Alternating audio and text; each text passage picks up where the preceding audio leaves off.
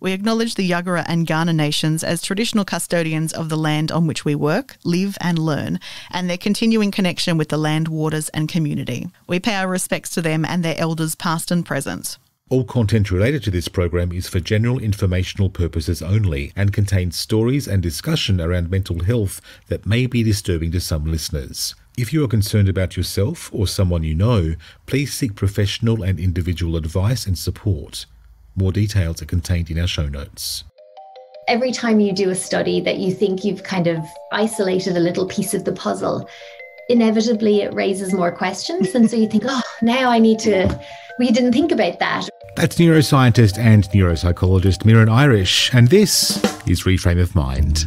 We're your hosts, Louise Poole and Andy Leroy, and we'll hear from Muireann Irish later in this episode, along with some of the other wonderful women of science that we're speaking to, including Professor Leeanne Carey from the Florey Institute of Neuroscience and Mental Health, Dr. Lisa Saulsman from the School of Psychological Science at the University of Western Australia, and Associate Professor Kimberly Norris at the University of Tasmania. Last time on Reframe of Mind, we spoke about risk taking mm. and realised while we want to make changes, we tend to make similar types of choices that emerge as patterns in our life. So you know, we started wondering if it's actually possible to change our brains. Yeah, we, are talking about the philosophical and feeling subjects in this podcast, Andy, mm, but it is yeah. important to bring it back to the science because while we've been talking about changing the way that we think, sometimes those theories can quickly start to come across as platitudes and run the risk of being turned into toxic positivity. Yeah, and we've been big on wanting to cut through those platitudes mm. in this series, but I guess in some way we kind of felt that even saying that statement at the front of the program is starting to sound a bit like a platitude, isn't it? it's a cycle of a platitude. Oh no! Uh, yeah, uh, so we we wanted to um, phrase it differently. Actually, here's what we wanted to do: reframe our statement. Go. Okay. So, Reframe of Mind is a podcast about mental health. But mm-hmm. we find that when people want to talk about mental health, what they actually mean is mental illness. One of our favourite phrases in the series is that we don't exist in a vacuum. So, mental health and the way that we talk about it shouldn't either. Yeah, so it's kind of understanding that we are profoundly influenced mm. by the world around us, you know, and also the biology that we take through life that we've been handed to us, you know, through our parents and our genes and that sort of thing. So, looking after our mental health over our lifetimes, it is more than grabbing a quick fix and a platitude. You know, we have to gain an understanding of what makes us tick. So it's important to understand why we do the things we do and how the things we do are influenced by the world around us as well. It might sometimes sound a bit like woo woo, uh, this concept of neuroplasticity, but that's because the science is so new and constantly expanding. Uh, the scientific research, though, it backs up the theories that prove that we can change our brains. In fact, we do it every day. Yeah, so in this episode, we're going to talk to some of Australia's leading female voices in STEM about the science of changing our thinking, because there's nothing like solid evidence to support new ideas about our capabilities. Professor Leeanne Carey is a world leading Australian neuroscientist in occupational therapy and stroke rehabilitation and recovery research, working at the Florey Institute of Neuroscience and Mental Health. We decided to start with a lesson in Neuroplasticity 101, and Leeanne was happy to oblige neuroplasticity, it's about that ability of the nervous system to respond to stimuli by reorganizing its structure, function, and connection. So it's essentially that underlying phenomenon that allows us to change, adapt, and learn. One thing too that's important to remember in this is that it's the changes are experience and learning dependent. They occur during development, throughout the normal lifespan, and actually in response to injury. And actually, there's probably already a number of your listeners that might have heard about the concept of neuroplasticity. And it's in things like the book um, The Brain That Changes Itself by Norman Doidge. Yeah, that was the and, first place I heard it. Yeah. yeah. And on the television series, for example, Redesign My Brain by Todd Sampson. So I think um, the knowledge that the brain can change, this concept of neuroplasticity is now becoming mainstream. It's important for us all to know that the brain's changing its function and networks constantly, whatever we do. Even now. This is encouraging news. Yeah. And something that we're going to continue the conversation with throughout this episode, especially with Leeanne in relation to stroke recovery. But for now, let's take a deeper look into the structure of our brains and what different areas are responsible for. We kind of thought this might be important to understand if we're going to try and change the way we think and respond to things. Muireann Irish is an Australian Research Council Future Fellow and Associate Professor of Psychology at the Brain and Mind Centre at the University of Sydney.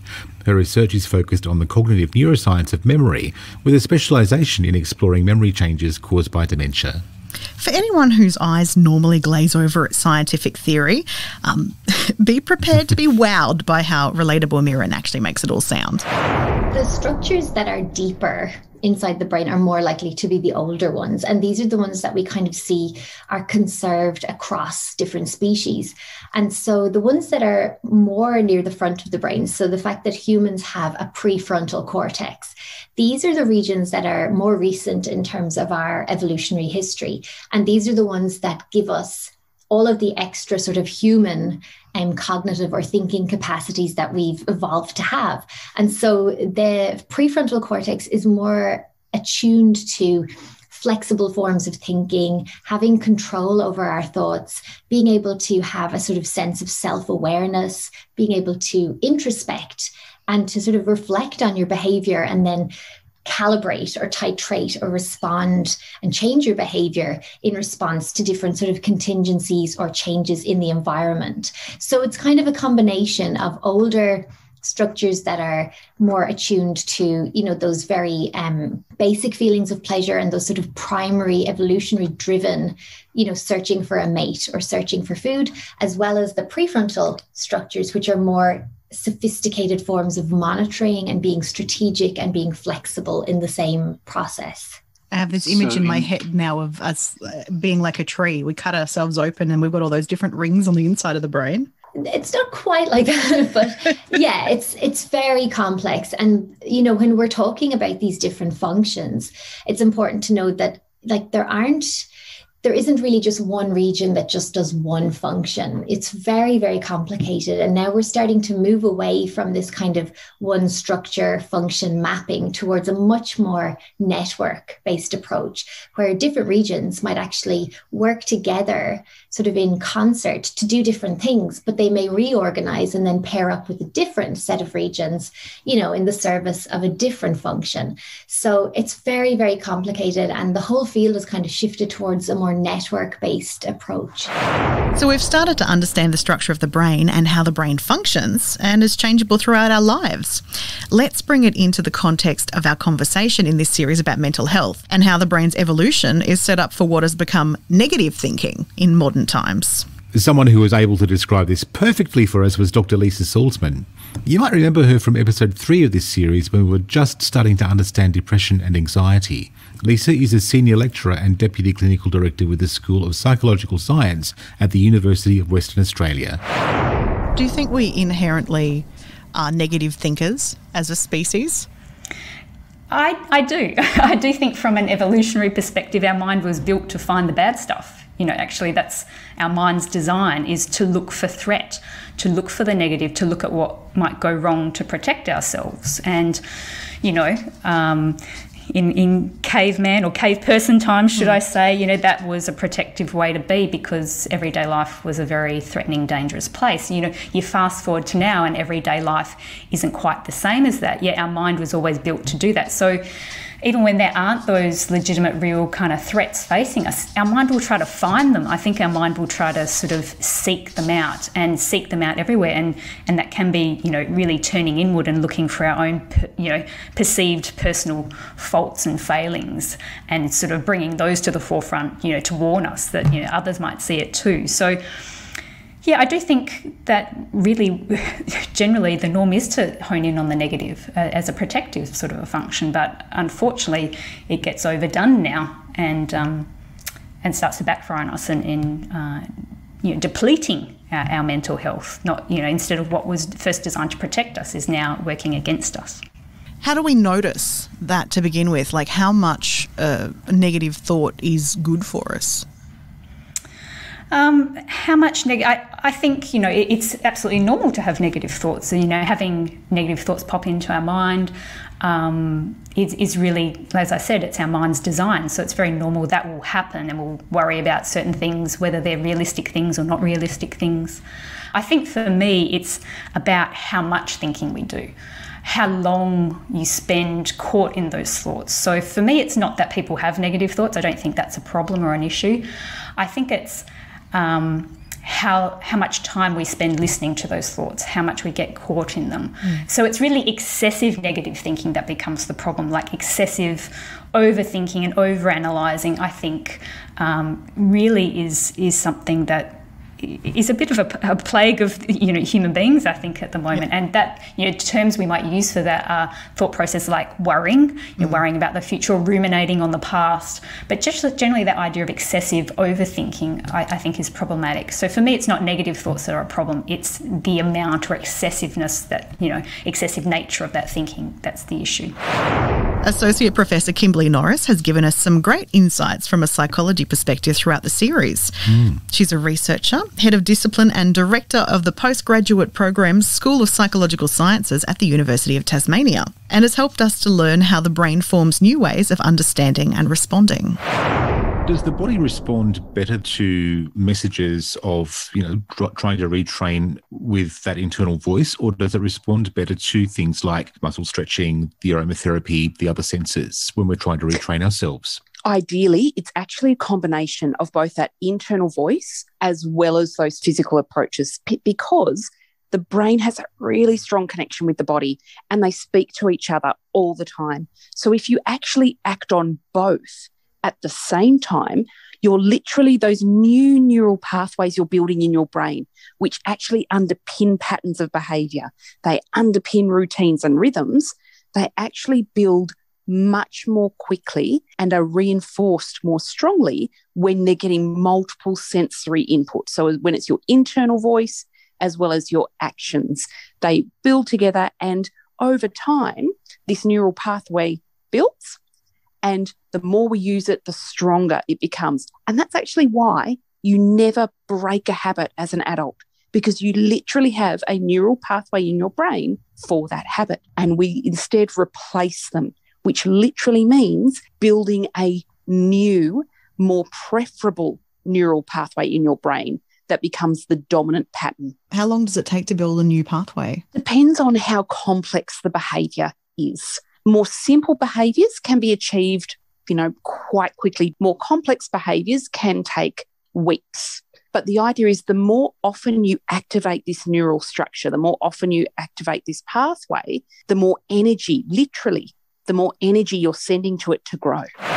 Leeanne Carey, in the course of her research in stroke rehabilitation, has observed how our brains change at different points of our lives. There's really compelling evidence now that the brain can change, that has this neuroplastic capacity throughout the lifespan. So, whilst a person is younger, there might be more rapid changes, we can still change throughout the lifespan. And I think this is really so crucial when we're working with different people at different life stages to, to know that there's this possibility. And the people, for example, that I work with who have a stroke, that it really provides a hope for change. When it comes to um, people affected by stroke, I'm, I'm wondering is it easier to retrain a brain that has had a, a trauma like that? Actually, the plasticity is enhanced by an injury like that. Mm. So it does have a special significance for a person who's had a,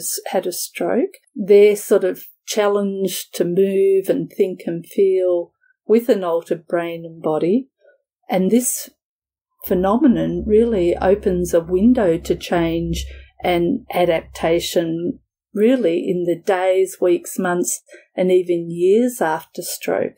I often say to the people with stroke that I work with, they actually have an even greater capacity for change and adaptation because of that injury. And they can learn new skills on a day to day basis like we can, but we have to also be aware that they could learn habits and movements that are not so helpful, such as they might learn not to use that limb. So, whilst there's a greater capacity, it's also important that we really work to harness that capacity for a positive change. Is there a theory why the brain becomes more moldable at this point? Well, I, I think it's really that because there's a force, it's a challenge for it, so that the person, you know, there's part of the network that's not working properly.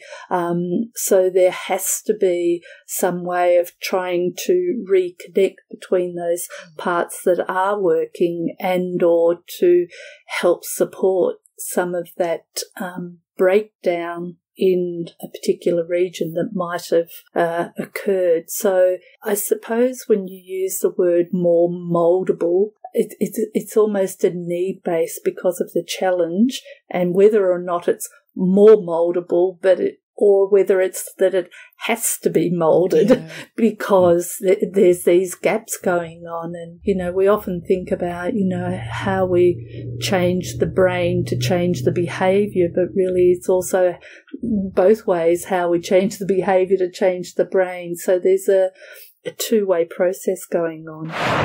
Muireann, in her research, observes how behaviour is influenced by our drive for pleasure essentially it all boils down to the fact that we have to think back to evolution and what is going to give us the biggest sort of survival advantage and anything that confers an, a sort of adaptive um, advantage then needs to be assigned something that's positive. So if we think about like the main rewards that a you know a Neanderthal or an animal actually would need, their food, their mateship, and sex. And that's basically, and then avoiding predators. And so them being bestowed with like a pleasurable experience means it's more likely that the animal or the human is going to try and seek these things out, work or allocate effort to get these things, and also hopefully avoid predators and negative outcomes in the in the process. So essentially, I think much of our behavior is actually driven by this sort of underlying sort of drive to receive pleasure or to experience pleasure. And it just so happens that that actually confers a very important survival advantage. What's happening in the brain from that perspective that's going on that's causing us that pleasure? Yeah, so there's a very um, sophisticated network in the brain, um, and it's part of this dopaminergic system. So this is a system that's heavily sort of oriented or geared to dopamine, which is one of the main neurotransmitters in the brain. And so the network that's implicated when we do experience those feelings of pleasure, like you know the tingles when you hear your favorite tune, um, there are regions in the front of the brain, in the frontal lobe, and then there are regions in an area deep inside the brain called the striatum. And collectively, they are sort of like these hedonic hotspots, is the term that's used in the literature. So they fire or activate when we respond in that pleasurable way to a stimulus. So if you're you know, biting into, you know, a lovely warm slice of pizza or something, these are the regions that will get activated in the brain. And so they they um largely are driven by this dopaminergic neurotransmitter and it's what gives us these feelings of pleasure and it's very reinforcing so it actually we will remember those feelings in response to a stimulus and also we can anticipate and look ahead to sort of think ahead and sort of plan out how we might actually work towards and achieve other similar rewards. Lisa Saulsman agrees, telling us we're basically built to run away from uncomfortable experiences. And I know, Louise, you can definitely relate to this.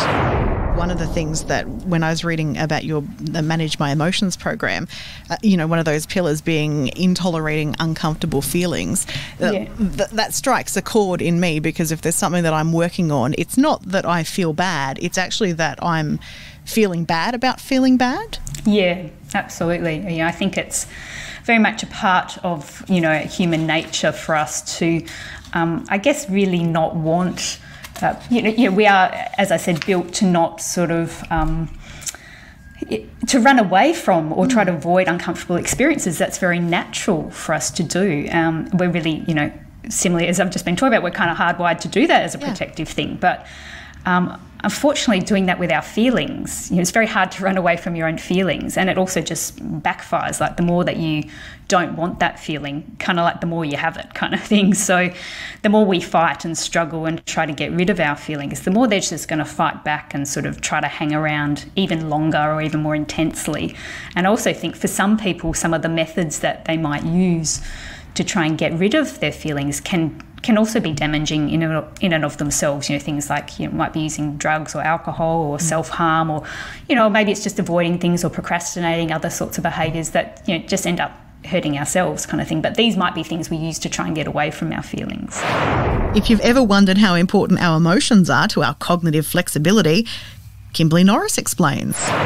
When we get some um, momentum going around adapting to change, so we, we we start positively adapting to change, and then does that make it easier to kind of keep adapting to change? Like once we, we stop treating change as either good or bad? Most definitely. And it's quite fundamental to um, an aspect of experience called cognitive flexibility. So, cognitive flexibility is essentially when you are able to see that there are always multiple options of experiencing, interpreting, and responding to any given situation. And Cognitive flexibility is absolutely that idea of rather than good or bad, so take away what we call the valence, so take away the emotional component and recognize objectively it's different. And different means we can shape whether it can be positive or negative, at least to some degree. The other really exciting thing is not only does this help you adapt positively to change going forward and across a whole range of contexts,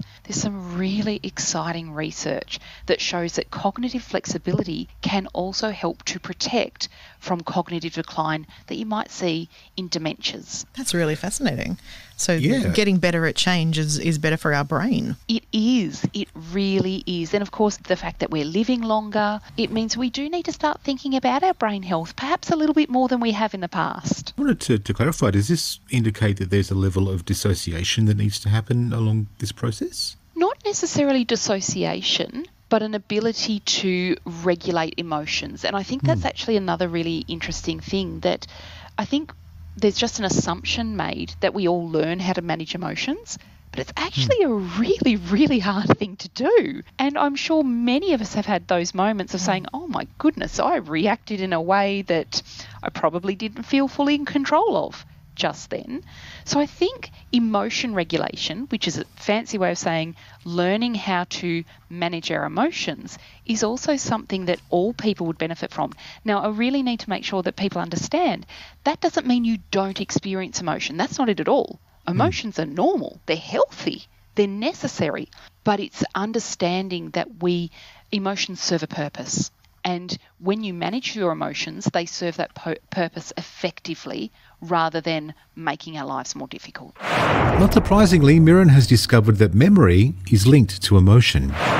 If you think about the types of memories that you can actually remember and the ones that are important to you or have left a sort of a salient mark in terms of your own sense of self, inevitably they will have an emotional component.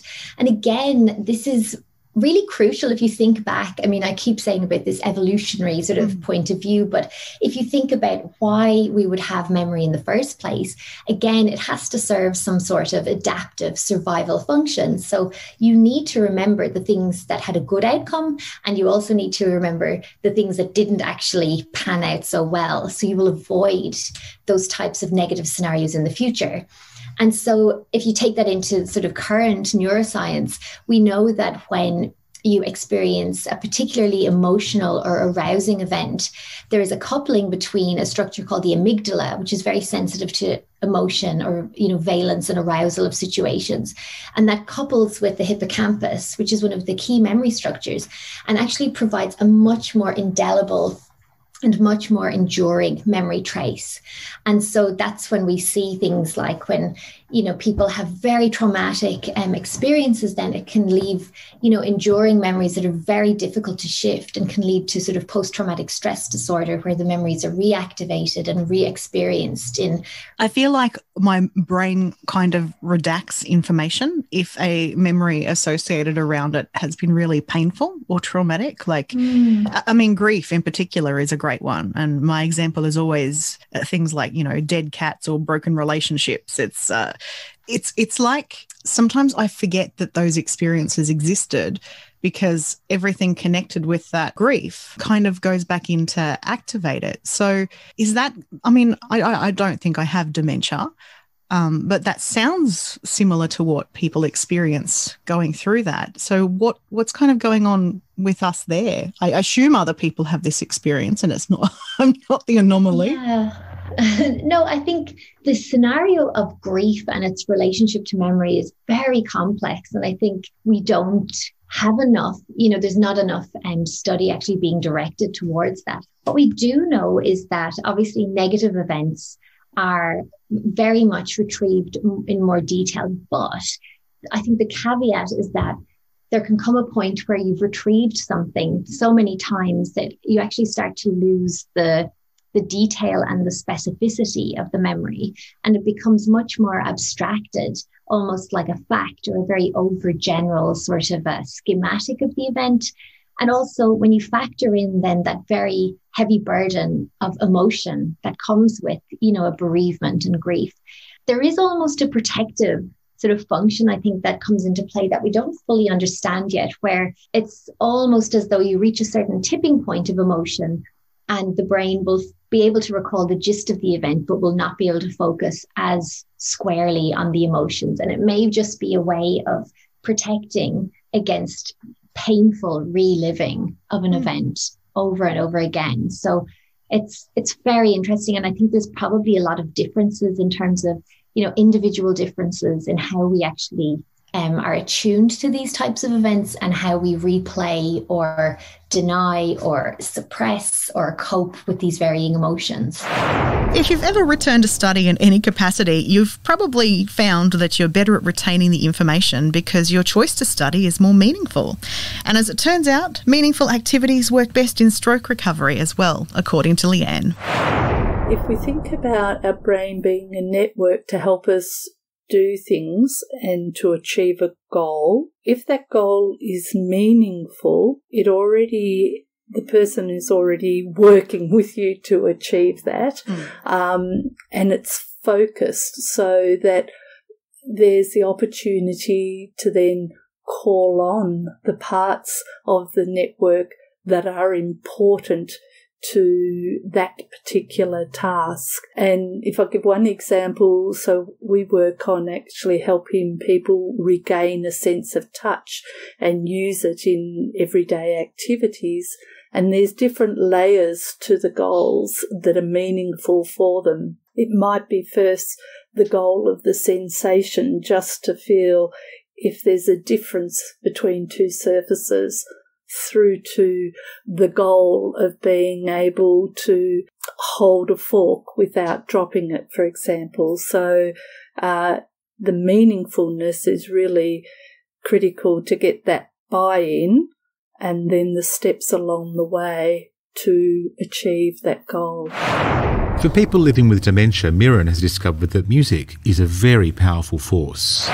It reminds me of um, a time when I was working with people who were living with dementia in the aged care sector, and the activities that always went better were the ones where we didn't rely on them to have any great input into an outcome. So, other than enjoying it, so for example, I would run a session of art with one of the um, one of the groups there was quite a range of outcome with with the individuals there. Some of them painted abstract, really colourful pieces on the paper. Some of them found the brushes a little bit too much to use, so they'd use their fingers and still make some quite quite nice works. And then there was one lady I remember who picked up the brush poked it into the paint and then put it straight into her mouth. And when I asked why she did it, she said that it looked delicious, like mm. something she wanted to eat. So for people living with dementia, is it more about the senses and trying to actually help them to just be in the moment? Yeah, I think there's a huge aspect of it um, in just constraining the experience to the present moment and taking the pressure off as well, as you said, to not have it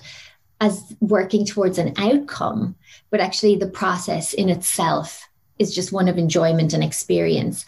And if we circle back to our opening kind of topic about pleasure, mm. it's interesting because the studies that have been done on music, in particular in dementia, in Alzheimer's disease, show that um, you know, when we image the brain of people who have got Alzheimer's disease, that um, set of structures, that frontostriatal brain circuit that I was mentioning, doesn't appear to be as damaged as many of the memory structures or the spatial memory or the navigation structures are. And they remain preserved for a remarkably long time into the disease course. So it seems that if you can tailor the activity to the individuals with Alzheimer's disease, they can derive pleasure from those experiences through this circuit. And so that's been suggested to be one of the reasons, maybe, why music therapy and art therapy are so effective because that capacity to experience pleasure is still there. It's just finding the right key to unlock it, you know, using maybe personally relevant stimuli or personally relevant music um, so it's really interesting. And I think one of the things that I particularly like about music is that you can use these types of approaches in even the very severely impaired um, individuals living in you know assisted or residential aged care they don't need to be able to you know communicate verbally but more often than not, this approach will reach everyone. It's like the great sort of universal communicating tool. You'll find people who haven't spoken being able to sway or tap or move along to the beat. And it just seems to be a very potent way of engaging again, even if it's non-verbally, but communicating back to people who have been, you know, unreachable for a time. So let's bring this into the context of cognitive therapy, where someone isn't impaired by the impact of stroke or dementia. Working with imagery is something that Lisa identifies is particularly successful when we think, we can think in lots of different ways, and we can think in more what we might call verbal linguistic ways. So, I mean, what I mean by that is like in words and sentences, and we think of that that voice in our head and that self-talk kind of thing. Um, but we can also think more in imaginal ways, like in mental images and other kind of sensory forms. Um, and there's actually lots of research to show that. Um, imagery sort, sort of based thinking connects more powerfully to our emotions than more verbal, wordy kind of based thinking. So, you know, just as an example, you know, if you were to say the word chocolate cake to yourself, you know, a few times just to yourself, you probably wouldn't have much of a reaction. But if I asked you to close your eyes and imagine in great vivid detail a chocolate cake, then I do this exercise with a lot of people. Like a lot of people will find themselves sort of salivating and having sort of hunger kind of urges. That that's if you like chocolate cake, of course. I love chocolate. Um, I, I, do too. I do too. Um, so you know that's just like a, a way of illustrating that yeah, imagery connects really powerfully to our emotional and physiological experiences. So, and and the reason for that is that our brain actually isn't very good at distinguishing an image from reality. So our brain is sort of processing what we're imagining in quite a similar way to if that were actually happening for real. So, therefore, we're responding emotionally, physiologically, as if what we're imagining were somewhat real. So, I think because of that, you know, people might, you know, anyone that's familiar with CBT might be used to kind of tuning into more the verbal thoughts and the sentences of, you know, meaning that they're bringing to situation. But it's quite interesting to sort of try and tune into the snapshots of mental images that might also be popping up you know like so again an example would be i might have the thought you know i'm going to make a fool of myself on this podcast. So it's like a sentence in my head a bit of self-talk. But i could have the image of someone listening to the podcast and sort of rolling their eyes at something that i've said. And so that's you know kind of tuning into not just what we that kind of self-talk but are there little snapshots of images that are also representing how we're seeing situations? Now if you've ever heard someone say the brain can't tell the difference between fact and fiction and thought it was toxic positivity claptrap, think again. Muireann explains. A few people say to us, uh, from a psychologist point of view, that the brain can't tell the difference between uh, our imagined reality and uh, reality reality. What is your thoughts on that? Um, that's uh, it's an interesting debate. So I think there's a difference in terms of the imagination that I study, in terms of the perception of the world around us and how we make sense of the world mm. by perceiving different sensory inputs. So, one of the things that I'm, I'm particularly interested in is this relationship between memory and imagination and how similar are the two and how much do they differ and so there's been a lot of interest this is a huge topic in terms of you know cognitive neuroscience of memory is whether memory and imagination are actually the same thing um, which on the surface seems to be a very strange question to pose because we all know what memory is and we all have memory and we all have a fundamental understanding of what memory means to us. But then if you say, well, is memory just imagination? People start to get very confused. But this is, seems to be where the literature is kind of going at the moment. And um, it's basically because there was a discovery just over 10 years ago now that when people are remembering events from their past and when they're envisaging events that might happen in the future, the same core brain regions and same core network activates. And so there's massive overlap in terms of the structures and the regions that fire up to enable us to remember and to imagine. And the overlap is so strong. If you were to look at the scans of people, you wouldn't be able to actually tell who's remembering and who's imagining. So it's led to this sort of rethinking of memory almost as a form of like mental construction and that the some people have gone as far as to say that memory in itself doesn't really serve us all that well. It's more the imagination that we can construct from the elements of our memory. That's the important thing to ensure that we can survive adapt and plan. Does that make people who daydream or whose mind wander probably a bit more happier than the rest I would say so, yeah. And I mean, again, this is another area of explosion in cognitive neuroscience because that same core network that I mentioned is also highly activated when people mind wander and daydream. So, when you're daydreaming or letting your mind go, your brain is actually highly active. So, it's not idle in the slightest. Your brain is hard at work when you're daydreaming. And the majority of thoughts that we have when we're daydreaming are actually prospective. So, they're future oriented.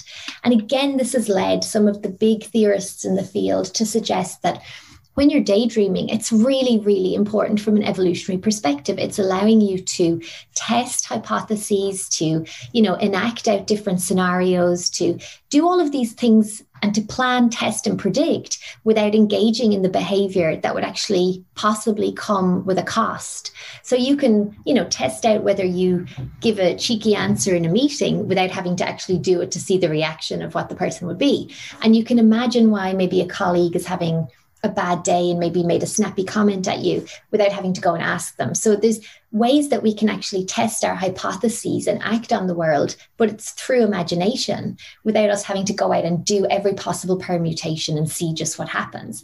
So it's a very sophisticated way of letting us operate on our environment without actually engaging in the physicality of it.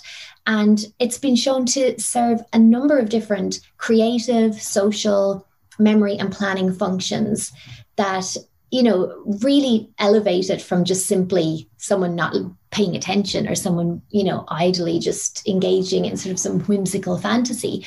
It actually there's a growing consensus now that daydreaming is really highly important from an evolutionary and adaptive perspective. In a practical sense, Leeanne has conducted research involving brain scans that identify the brain's use of anticipation in stroke recovery things we saw in uh, one of the videos that you were doing had to do, it was a scan of the brain sensing, and then the other side was a scan of the brain anticipating. And yeah. what struck me as really interesting is there's not a lot of difference between the two no. in our yeah. ability to anticipate something. Yeah. And I feel like that has um, more applications than just a, a stroke recovery in um, our imagination. It seems like it's really important. Yeah, it is quite a powerful, well, knowing that is quite powerful in how we can use it. And it's quite interesting to know that that is the way that our brain works. So, particularly when a person's had a prior experience, for example, of feeling that, if they then imagine it shortly afterwards, basically the similar area of the brain is involved. So, we actually directly use that in the sequence in which we explore sensations and use it in the task and in that deliberate anticipation that I talked about before. And then we also get that person to imagine what the sensation is supposed to feel like after having just had that prior experience. And all of that is coming together to try and sort of prime that part of the brain that might have been challenged in the context of the network so that ha- they have a greater ability to tune in to the stimulus that's coming in and to make sense of it. And that's the light bulb moment that we mm. see so often. It, it, it's quite remarkable, actually. You know, we love a bit of woo woo, Andy. Yeah. Yeah. So this seemed like the perfect time to explore the brain's ability to time travel with Muireann. Now, we know that when we remember an event from the past, we're not actually remembering the original experience. So we are remembering the last time that we replayed, you know, reconstructed this event. So there are all these theories about how memories are just the last sort of iteration of a constructive process. And that's why memory is so fallible and so vulnerable to distortion and to errors. Because if you reconstruct a memory and then maybe some information is brought in that's counter to your original experience. So someone might say, No, I was wearing a red coat that day. You said I was wearing a blue coat, and that's incorrect. You will probably retrieve that event with the incorrect information now incorporated into your new memory trace. So we're constantly updating and reconstructing our memory, but this can give rise to errors and distortions. And the same thing then, we reconstruct the past, that also enables us to construct the future. And so we're able to you know, draw upon our store of memories that we've experienced and say, well, if I do travel to, you know, Antarctica, what do I know about it? What do I know about travel? What do I know about, you know, the people that might come with me? And you can actually construct a very realistic and, you know, highly salient event that you have no prior experience of because you have all of this knowledge that you can delve into and reconfigure and reconstruct. Can we use this to our advantage? The the fact that memory is not, I suppose, not really real. Can we start to construct a narrative for ourselves that is more beneficial to how we feel? Like, say, so you have like low self worth. Can you start to tell yourself that story that um, is different than that, and then it becomes eventually becomes the memory and becomes the belief that you have? Yeah, and I think there are um, some therapies that do work um, from this premise that you're remembering you know a certain version of an experience that you encoded but it may not necessarily be an accurate representation of what actually happened. So if you bring people together who've all experienced the same event they will retell that narrative in very different ways because it all comes from you know your own perspective um, your own feelings at that time as well. And it's very interesting how that sort of spotlight of attention that you have on yourself can color and shade sort of the whole emotional tone and the way in which you embed that event into your own personal sort of self story. And there is opportunity, I think, then to kind of work with those memories and try and go back into them. I mean, a lot of therapies are based on this, picking apart memories from the past and trying to understand them with a new lens and trying to understand perhaps your role or, you know, things that happened that were beyond your control and reframing them and then laying down this new version, you know, with hindsight. And particularly in some um, conditions such as post traumatic stress disorder, there's now a lot of interest in actually being able to modify or perhaps even diminish the emotional reaction that people have when they are triggered into remembering you know that traumatic event and trying to use you know pharmacological sort of interventions to really dampen and diminish that emotional response or the trauma response so that the memory can just be remembered almost as a factual account without triggering those very um, harmful and distressing feelings alongside it.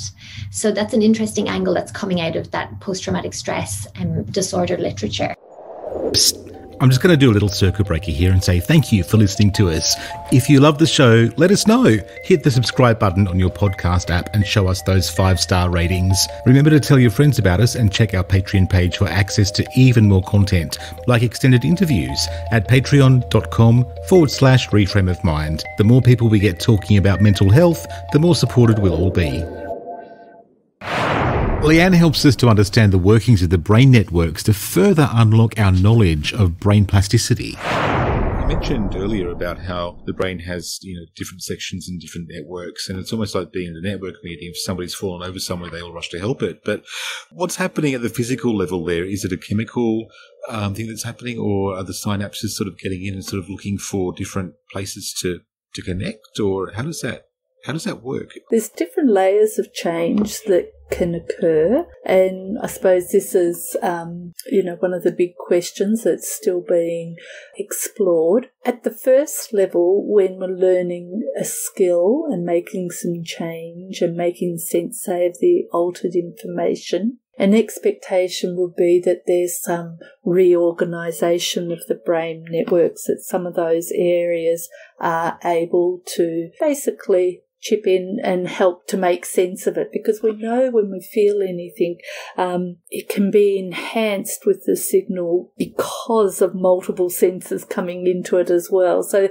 there's a redundancy in the system, there's parallel processing, etc. I don't want to get into too much of the technical, but um, yeah. I suppose that the first thing is, you know, if we, we look even the functional reorganization, we do have this capacity to learn and adapt, even if you think in your own situation. If you were thinking about, you know, you swing of a tennis racket, you know, you mm. can learn adapt, or you golf swing with feedback, you can learn adapt. So there's one level there. There's also some evidence of more the change in the synapses that you mentioned too, sort of a, a growth of the synapses and the connection.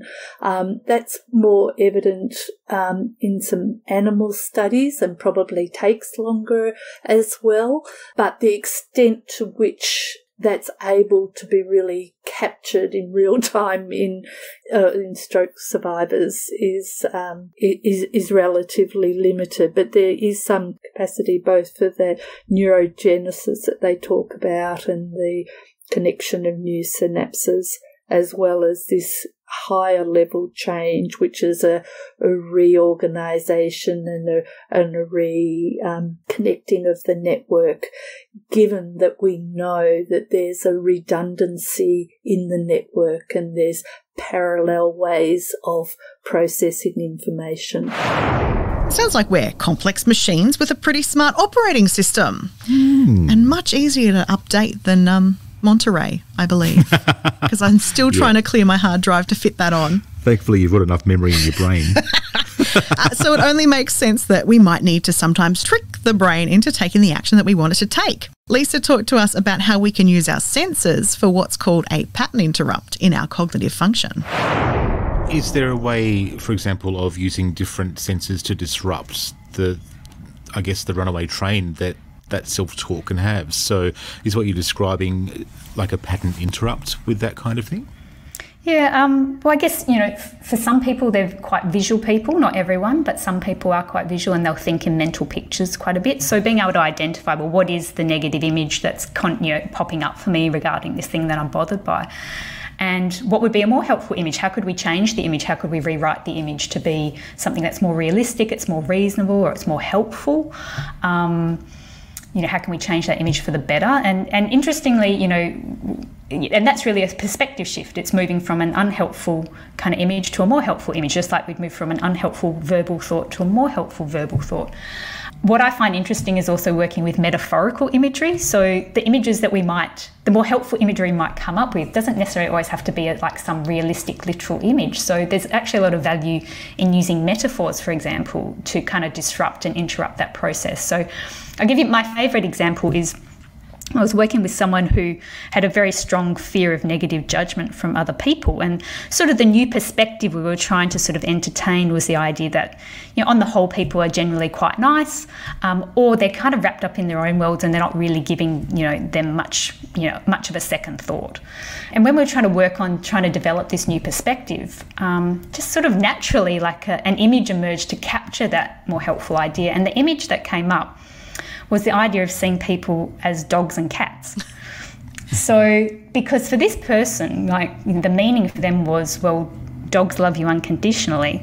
And from their perspective, they said, well, cats couldn't care less about you. They just go off and do their own thing. Now, no offense to cat people out there. I don't want to cause any um, oh, controversy no, about that. Yeah. but, you know, so this kind of seeing people as sort of dogs and cats and in wearing people's clothing and things like that, it really conveyed this this message, this essential new perspective that yeah, people are either nice or you know they're really not paying you much attention. But it did it in quite an emotionally evocative sort of a way. You know, when we would bring this sort of image to mind, there was a lot of lightness to it. There was a lot of humour. We'd, we'd laugh a lot about this image.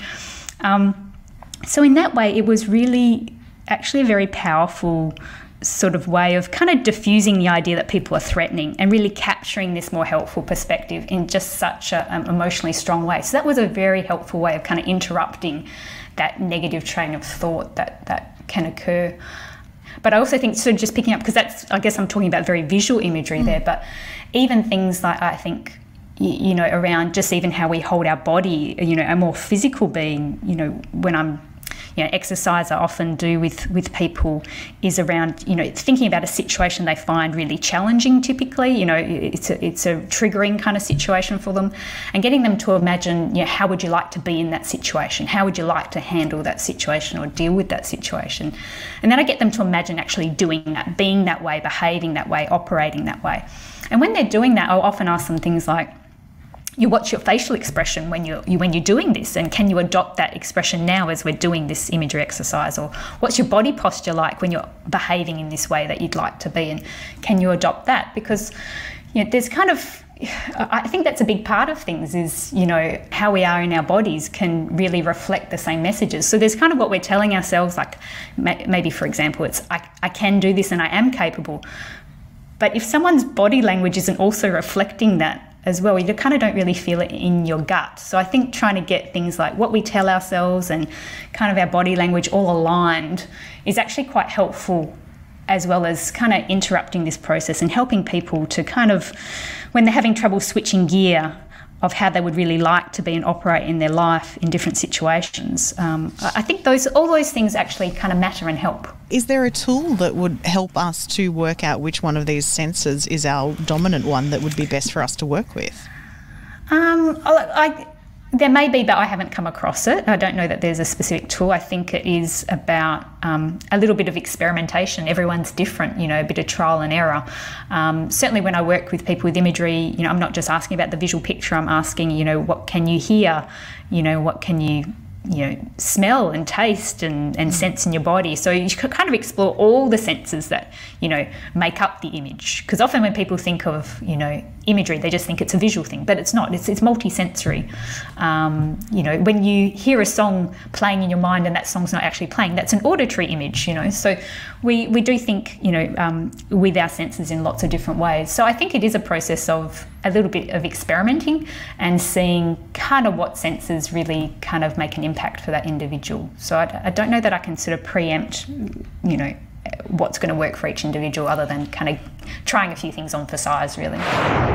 So, how does rebuilding brain networks happen for people recovering from stroke? Luckily, we had Leeanne with her expertise on hand to tell us and help us understand how that works. I think if we think about how the brain works, it works in networks and in an interconnected way. So if part of that network has been damaged by the stroke, then there's the other parts of the network that need to reconnect to make up for that loss. And that's, I suppose, where that readiness and the presence of neuroplastic change is intensified after a stroke because we know that that plasticity is linked with experience and learning. So then, whilst there has been damage somewhere, if you can see that you can put to the person that the brain has this capacity for change, that it's ongoing the whole time, and really what we need to come together about is how we can shape the change in a way that meets the goals and the new challenges that that person is being presented with. So it really is being very concrete that there is hope because of this phenomenon of neuroplasticity of the brain and because the fact that the brain isn't uh, our ability to do things is not just linked with one area of the brain. It's linked with networks and there's redundancies and capacities to reconnect and reorganize those networks to achieve a better outcome. Might not be exactly the same as it was before, but to achieve the goal that the person's aiming for. Muireann introduced us to some research on meditating monks, which supports this theory as well. The other thing that always gets brought up is is that idea of meditation, um, in that mindfulness. But that's always something that I've actually struggled with. Now, listening to you talk about imagination and how the second that you kind of relax, your brain just takes off on its own. Maybe we're trying to force ourselves into, I won't have a thought, but that's causing that explosion of thoughts, and we should pay attention to that. Yeah, I think as well, the meditation um, literature is very interesting because there have been some really, really um, just cool studies looking at, you know, practiced meditators or monks like Tibetan monks who are just highly skilled meditators. And they do show that the way in which their networks, their brain network dynamics, it changes. So the way that the networks are sort of connecting, configuring, it is very different to a non-meditator or non-practiced meditator. And I think there are different versions probably of meditation that we don't probably think of in that way. So, for example, I like to do yoga, and I find that's the only way that I can get my mind to sort of quell the ongoing chatter. So it's you're moving, but it's purposeful. You just think about the move, the next move ahead. And some people find Tai Chi is very much like that. It's slow, it's sort of purposeful, and you're just thinking about one move in a motor way. So I think it's more about knowing when you need to reduce the chatter and knowing when it's actually productive for you to let your mind go and knowing when it's it's a good time to put the device down and actually just be with your thoughts and see what comes up because uh, often we're just using our devices as a distraction i think. So as another example of um, getting out of that state of anxiety or whatever negative thing i put onto it at the time i, I will go and sit at my piano. I, I can't play piano very well. I'm learning piano but the act of learning piano I feel sort of using both sides of the brain while I'm doing it is somewhat meditative for me. Is that a similar kind of thing going on in the brain there, or is that a completely different?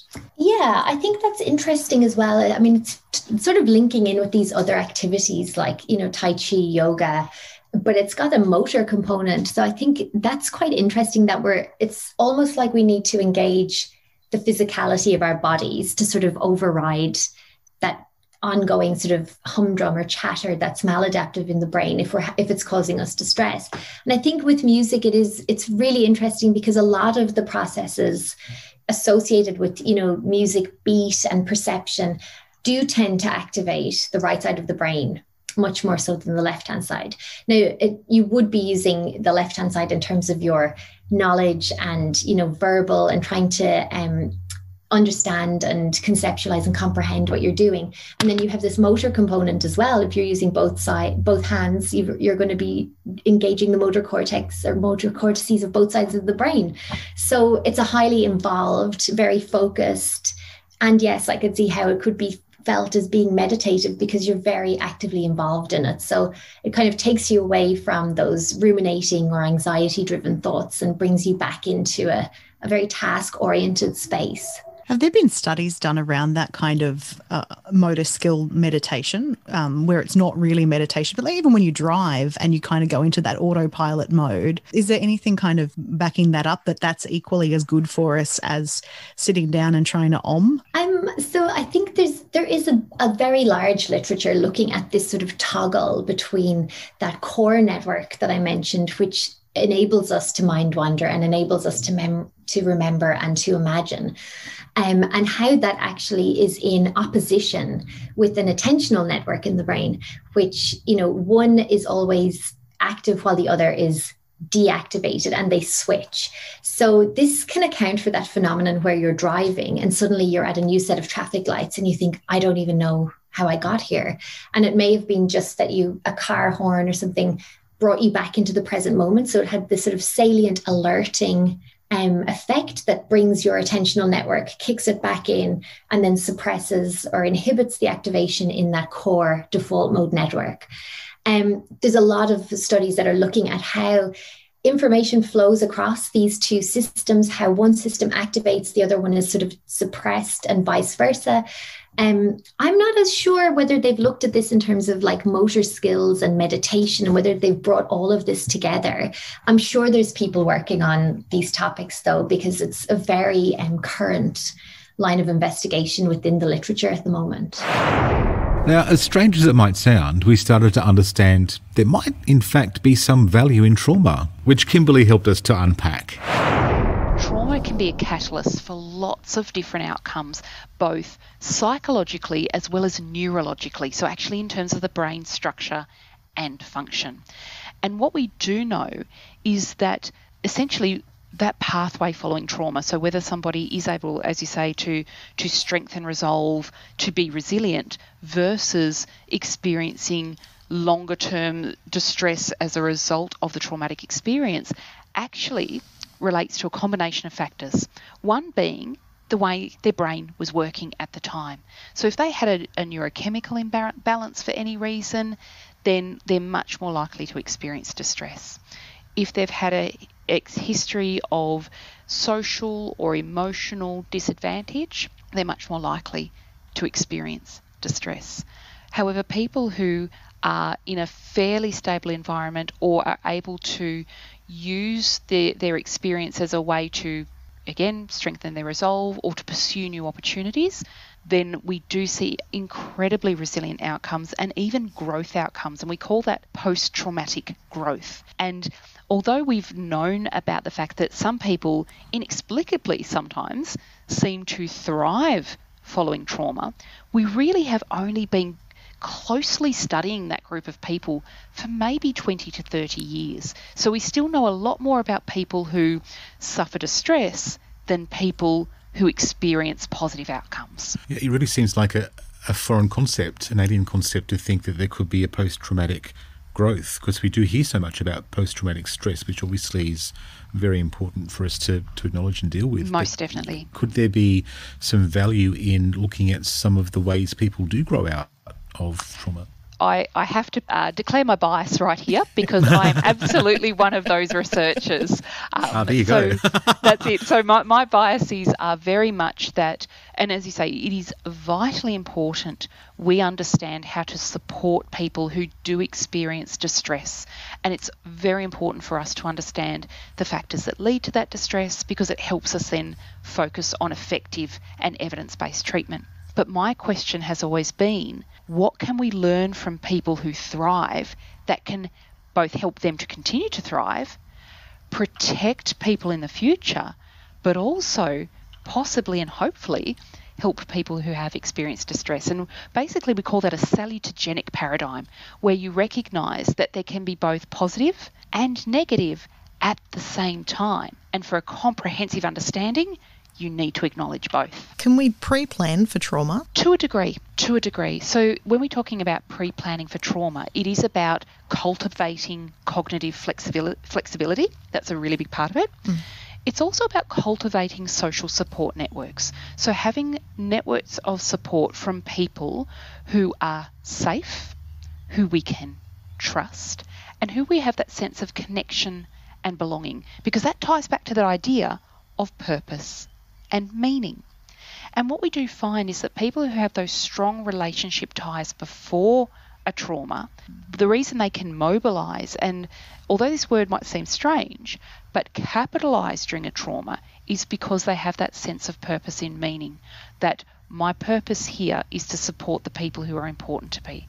And in doing so, that shared experience, that collective undertaking and collective success, survival then in turn gives more purpose and meaning to that sense of belonging. And we call that an upward spiral of positive emotion. It sounds like what it goes on when, you know, so a, a, a rape survivor or, or something like that that has been in a horrific situation then goes on to publicly speak about it and mm. create change and awareness, re um, reactivating or re re talking about their trauma, but doing it in a way now that actually makes change. And there's some important things there, as you said, that these individuals are incredibly courageous mm. and incredibly brave to be willing to be vulnerable in that way, to speak about their experience. But in doing so, there are so many powerful outcomes for themselves as well as for people who have experienced similar traumas. So, number one is this sense of validation. In other words, it is not okay, it did happen, and it needs to change, rather than that's not something we talk about. It's also about as you say, mobilizing change and mobilizing people because that's a sense of purpose. You know, whether it be rape, whether it be mm. another form of trauma, most in and of themselves are horrific and they are senseless. However, when a survivor takes control of their narrative, and what I mean by that is that they are able to publicly speak about this, whether it be within their own social circles, whether it be at a higher platform, whether it be through media, whether it be through police, whatever avenue that fits for them, they are actually taking control of the situation. And through taking control, we know that that increases the likelihood of resilient outcomes, but it also gives them a sense of meaning to their experience. The event itself remains senseless and completely unnecessary but what they do with their survival gives them a sense of purpose and meaning, and in doing so, empowers themselves and others. Muireann also spoke about the benefit of trauma in creating positive change. I think, again, this really does come down to the nature of the trauma, um, the individual personality and resilience of the person, and the support that they have around them. So, I think I would be very reluctant to say that, you know, trauma is beneficial because ideally mm. we shouldn't be living in a world where people are exposed to some of the horrors that we hear about in the news. Um, we do see people rising up and becoming amazing advocates against, you know, these horrific experiences. But I think for every case that we hear about that's you know the exemplar and the amazing person who can rise above it there are countless nameless others who have really terrible lives on the back of traumatic experiences and who actually can't regroup. So I personally would feel that, you know, it would be better to stamp out the cause of the trauma rather than, you know, using it to say that, you know, you can achieve great things on the back of it. Yeah, I guess in the absence of being able to stamp out trauma, not, not saying that we should be going in and traumatizing people, for for, um, for progress.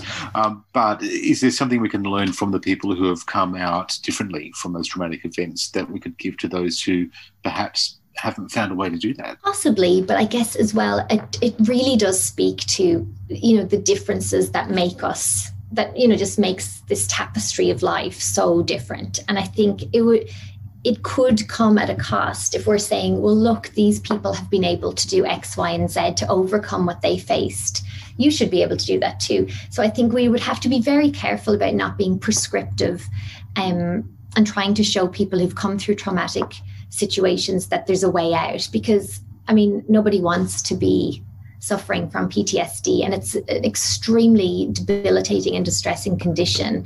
Um, likewise, a lot of people don't want to be addicted to substances and don't want to have, you know, gambling addictions. And I think it's mm. very difficult to hold up people who have made it through um, as a shining example that could actually be demoralizing or demotivating as well. For addictive substances, it's a very, um, very potent biological effect, and it can end up being um, almost like that conditioned response that we're talking about. Yeah. So it's it goes beyond um, it becomes almost automatic that you're you know you have this hit you have an instant response to it and immediately once that has worn off then you're primed and craving for the next hit. So there are some substances that are just so highly addictive it's almost an instant cycle of you know of abuse and then looking for the next hit.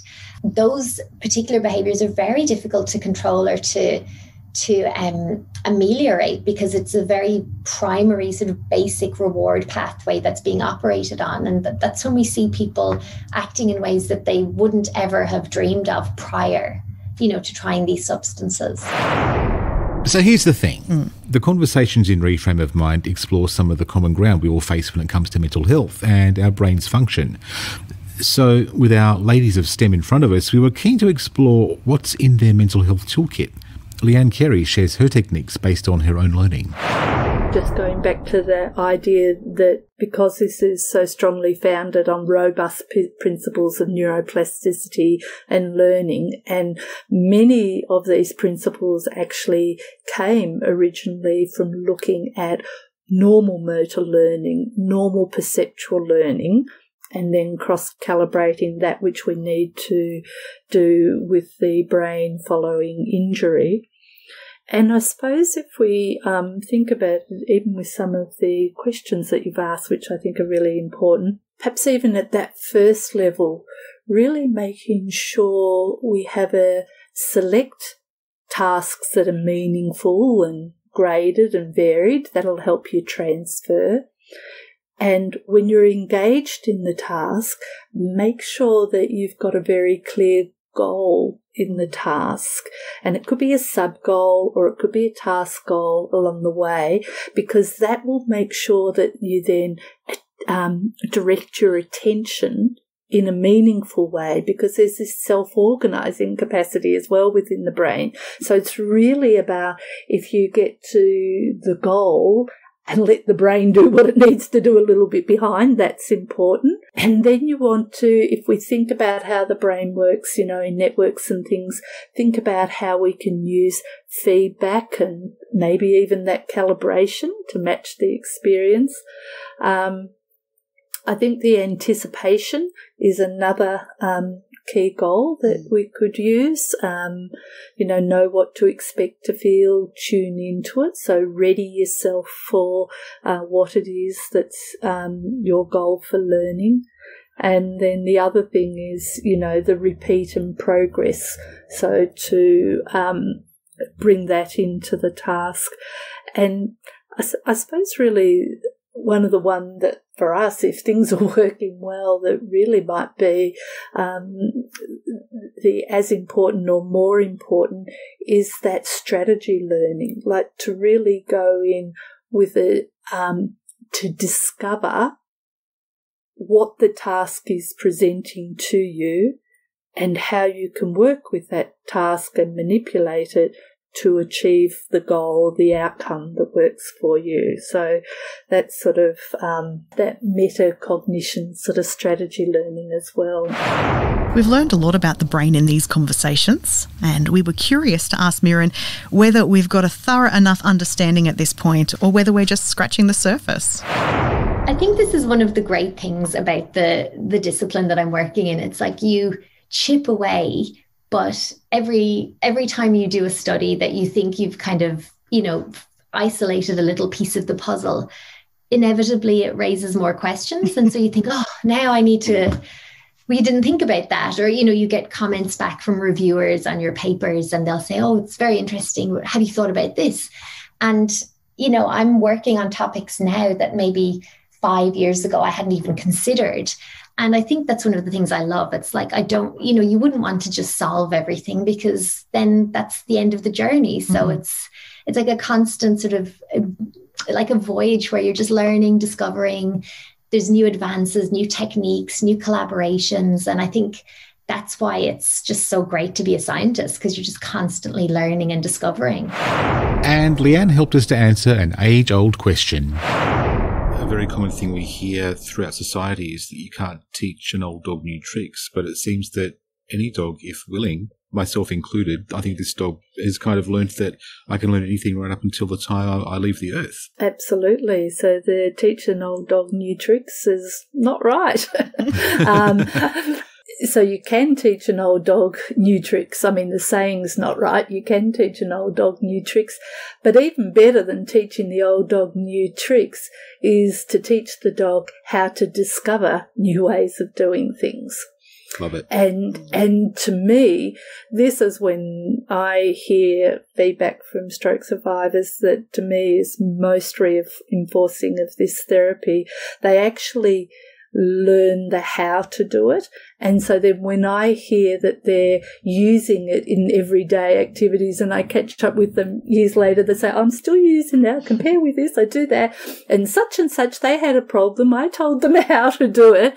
Um, and, and then it's, yeah, so it's being open and believing in that discovery of learning it, but also having ways that, um, you can bring it together with principles such as this, which are very robust in neuroscience, to actually start on that pathway and continue on it to change. And you know, it comes back to what we started with. I mean, if you think about reframe the mind, it's about adapting and learning. Neuroplasticity of the brain is the mechanism or the phenomenon that supports that adaptation and learning.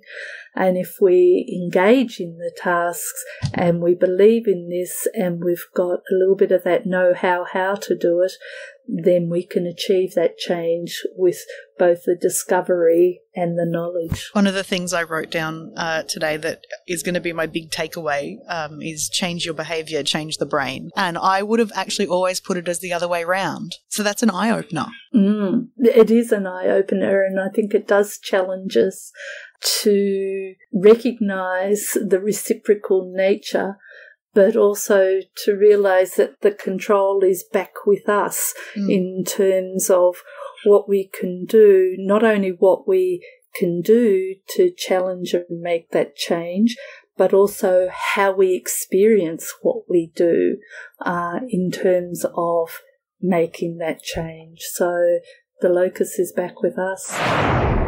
Next time on Reframe of Mind, we'll revisit what motivates us given this new knowledge on brain plasticity. With a little bit of help from Scientia Professor Joe Forgas AM. Typically, people make those sorts of decisions once they have more information. You won't leave your job until you have a better one. You don't leave your spouse until you have a better one. I mean, people typically hedge their bets and try to get more information. You, you very rarely jump into the, the unknown if you can help it. You've been hearing our story, now we really want to hear yours. Connect with at Reframe of Mind on Instagram, Facebook, TikTok, and Twitter. Or connect with at Welcome Change Media on LinkedIn. You can also contact us via reframeofmind.com.au with your stories or suggestions for future topics. We'd like to thank today's guests for sharing their personal stories and insights. And for more information on any of the subjects, guests, or references used in this episode, please see our show notes or reframeofmind.com.au. Reframe of Mind is a Welcome Change Media production.